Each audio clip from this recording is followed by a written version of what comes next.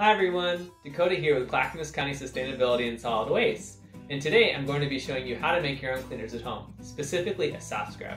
It's one of my favorites, so let's check it out. So, let's talk ingredients. Most of the things needed for a soft scrub can probably be found around your house, in the kitchen, pantry, and if not, are pretty inexpensive to pick up at the store. But first, we're going to start with our classic baking soda, and then some vegetable oil-based soap.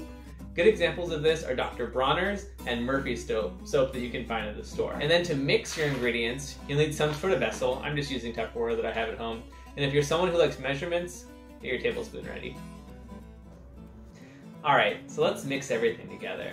What we'll need is two tablespoons of baking soda. I've poured out here to make it a bit easier, so I'll measure that out. One,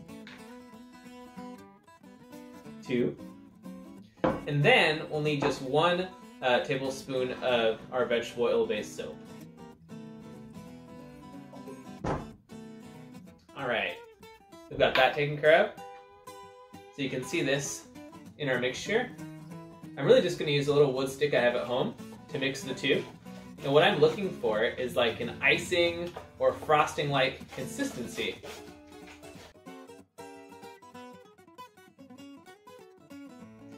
Now that we've finished making our cleaner, some of you might be wondering how to use it. It's pretty simple. Just take a gob of your soft scrub that you've made, put it on the corner of a rag, spread it around a little bit, preferably a moist rag, and you're good to go. All you need is a little bit of elbow grease to scrub. All right, with all this in mind, talk is cheap. Let's see how this cleaner performs.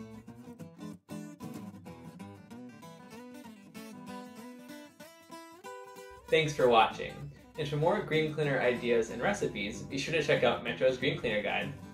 Or contact Clackamas County Sustainability and Solid Waste for more information. Plus, be sure to check out our YouTube videos under ClackCo TV playlist Sustainability for more interesting content like this. Happy green cleaning from Clackamas County.